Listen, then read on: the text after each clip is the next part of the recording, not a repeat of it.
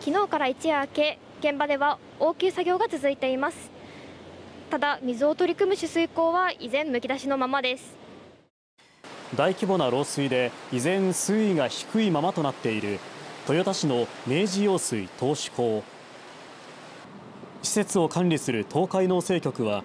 水を汲み上げる仮設ポンプを昨日の25台から42台に増設し今日午前10時ごろ下流にある安城浄水場での取水が可能になりました。安城浄水場によりますと浄水場に送られてくる水は漏水前の3分の1にあたる毎秒0.6トン程度に限られていますが愛知県は今日中にも工場向けに給水を再開する考えです。できるだけ早く私ども準備を進めてますのでちょっと十分な量がちょっと難しいかもしれませんけどもあの少しでもあの早く水をお届けできればと思ってます。取水制限とかあった時にはですねあのちょっとご協力の方をお願いできればと思ってます。はい。今回の漏水は矢作川上流の川底に穴が開き水が地中を通って下流に流れ出たことで水位が低下したとみられています。このため取水口よりも水位が低くなり水が取れなくなりました。根本的な解決には川底の穴を修復する必要がありそうですが。そちらの方が余裕終わったらこちらの方にも手をつけていくという格好でございます。ちょっと手が回らないというのもあるんでしょうけども。担当者は川底の穴の修復に着手できるのは10月以降になるとの見通しを示しています。ではここからは漏水の原因や今後の復旧の見込みなどについて名古屋大学元工学研究科教授で河川工学が専門の辻本哲郎名誉教授にお話を伺います。よろしくお願いします。お願いします。はいよろしくお願いします。辻本名誉教授この明治用水の漏水問題考えられる原因を教えていただけますか？はい。先ほど図が載ってましたように川の中に、えっと、堰を作って上流側の水を溜めて取水口から水を取るというのがこの投手口という仕組みなんですね。はい、でこれはあの矢作川という砂河川ですので本来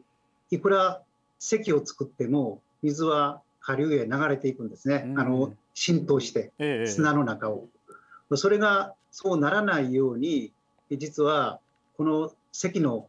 前面に焼いたっていう構造で遮水壁を作ってるんですよ。はい、でこのところに穴が開いた。あるいは隙間が開いた。ということでそれが水が流れていくとどんどんどんどん砂が抜け出して大きな穴になってえー、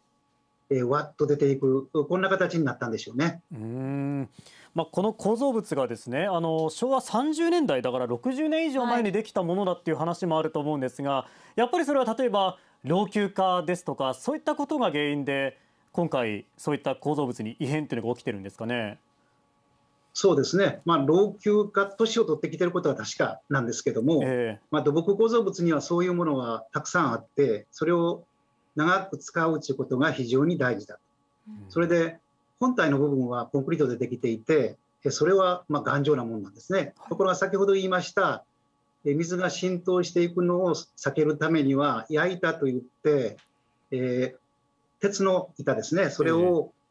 何枚も積み重ねて前にあの上流に突き刺してるんですね、はい、でこれによって止めてるんだけどもそういうものはやっぱり錆びるとか、うん、あるいは変形するとかいうことでしっかり見ていかないといけない、あるいは場合によっては取り替えるというようなことが必要で、そういうものによって長らく構造物を使っていくということが大事なんですね。となると、まあ、これまでそれを踏まえて老朽化するということはどんなものにもありますからそれを踏まえて維持管理はしてきたけれど今回予想外のことが起きたのかそれともそのそもそもの維持管理が少しこう甘かったのかどちらなんでしょうか？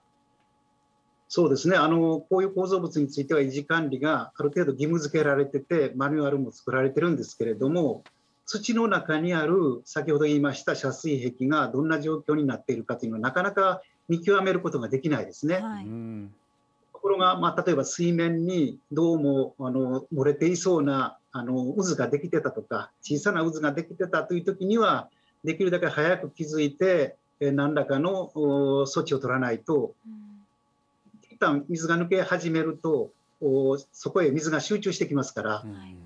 あるとこまでは持つんだけども急に拡大するというようなことがありますので、そういうことをしっかりモニタリングする仕組みあるいは制度を作っておかないといけないですね。うん。まあ、そういった維持管理を今後どうするかというところも課題だと思うんですが当座はあの今日中には工業水についてはなんとか賄えそうということでしたけれども、はい、まあ、農業の方の水についても一刻も早く復旧が求められると思います。農業の方の水についても同じくらいのスピード感で治りそうですかね？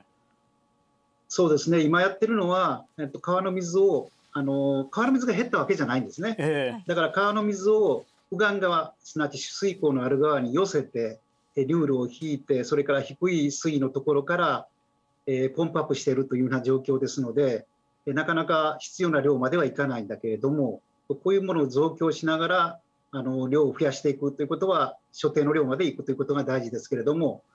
まあ本当は水位を元に回復してそのためには漏水を防いで、で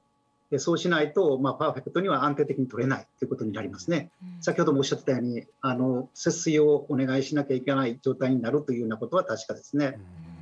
まだまだねしばらくかかりそうですもんね。そうですね。はい。わかりました。ここまで実際今時期が悪いですね。あのこれから出水を迎えるので、川の中で工事をするというのはなかなか難しい状況ですので、きっとその修繕補修には苦労されると思いますね。わかりました。ここまで辻本哲郎名誉教授にお話を伺いました。ありがとうございました。